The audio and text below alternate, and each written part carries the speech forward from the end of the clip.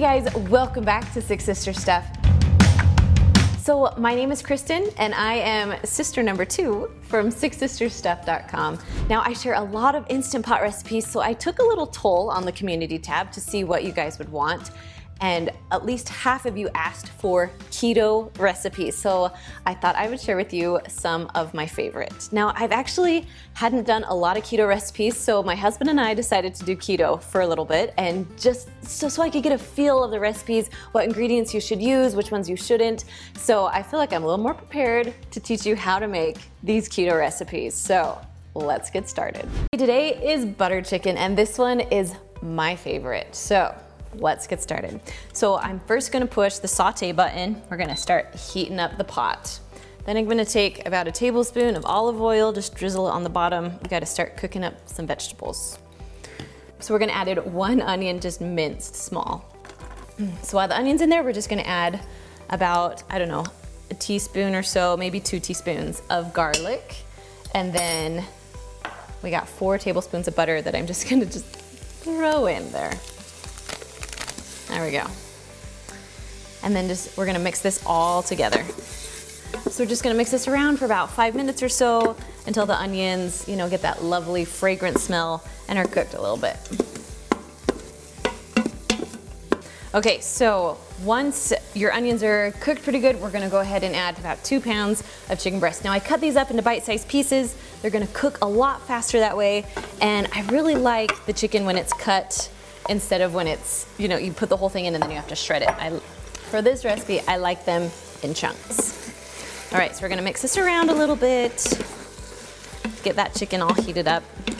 Okay, so while that's sitting there, we're gonna go ahead and add one can of Hunt's tomato sauce. Okay, so if you look at the nutrition facts, there's only four carbs for about a fourth of a cup, and that's all you're eating. So it really doesn't have a ton of carbs in it, so that's why we're keeping it keto friendly. All right, we're just gonna add that whole thing in. Now while this is going, we're just gonna add two tablespoons of tomato paste. And then we're just gonna mix this, mix this up a little bit. So next we have something called red curry paste, and this stuff makes your dish absolutely delicious. So, so we're gonna put two tablespoons of this in there. And I am just eyeballing a little because this is my teaspoon, but it's kind of a small, small opening there.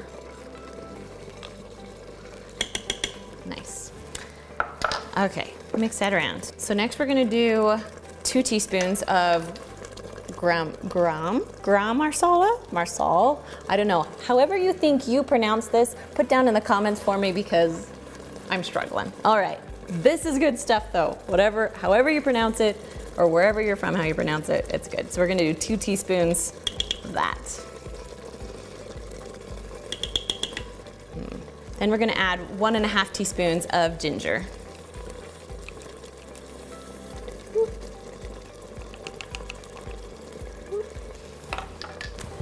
Mix that up a little bit. I like this because as you're adding stuff, you're, you're still on saute, so your chicken is starting to cook, which will make the pressure cook time go a lot faster. Okay, mix that in a little bit. So next we're gonna add some smoked paprika. I love smoked, that's probably one of my most favorite spices. We're gonna add about just a half a teaspoon of this. So we're gonna use the other side of this. Now if you haven't seen these, these are these magnetic uh, teaspoons. They are my favorite because they just stick all together and they have double teaspoon on them. So I'll link those down below for you guys. I love them. All right, mixing that up. And then our last thing is we just need to add a little bit of salt. So we're just gonna put that in. So it's about a teaspoon or so of salt. I like to eyeball my salt. And if you need more after, you can go ahead and add more after. Okay, so with this recipe, if you are using a Lux that doesn't have a burn notice, you are good to go now. You can put the pressure, um, put the lid on, but because I'm using a Duo, it's going to burn on the bottom. There's just not enough liquid. So I'm gonna add about 3 fourths cup of water into it just so we can have enough liquid so it will pressurize. Okay, so I'm gonna push cancel right now. Just we wanna stop that sauteing going on. And we're gonna add about, oh, I did about a cup of water. So we need to have liquid in there. So I kind of just put it, mix things around so it's on the bottom because we don't want to see the burn notice today. All right, we're just gonna put this to the side. Now we're ready to put the lid on and we'll get cooking. Okay, once your lid is on, we're gonna turn this little knob to sealing, not venting. Then we're gonna put the pressure cook button and go up to seven minutes. Now, once you set the timer, you can go ahead and just walk away. All right, so our butter chicken is all done. So it's been releasing on its own for about five minutes. That's exactly where we want it. So now, now we're just gonna turn the little knob to venting. Okay, now that all the pressure's out, we can open the lid. Everything's all cooked. Okay, now it's pretty liquidy because I added that water, but we didn't get the burn notice, which is good. So we're actually gonna turn it to the saute button right now. So you're gonna push cancel and then saute, and we're gonna get rid of some of that water. We're also gonna add about a half a cup of cream just cause we gotta make it creamy. That's my favorite part of this dish. Nice and creamy. We're gonna mix it up really good and then just let it saute just to get a little bit thicker. So just keep mixing, make sure you scrape the bottom as the saute is going so it doesn't burn on the bottom. Um, and it will just take a few minutes to get rid of that extra liquid.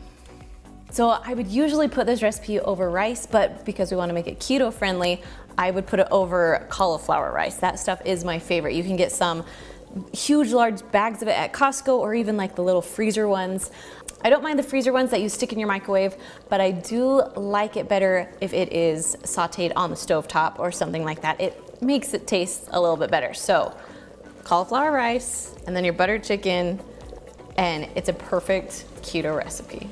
All right, so once you're done, I just like to put a little bit of cilantro on top, making it taste amazing. And there you go, simple, easy, keto recipes. Now, if you want more easy recipes, make sure to watch that video right there, and I will see you guys next week.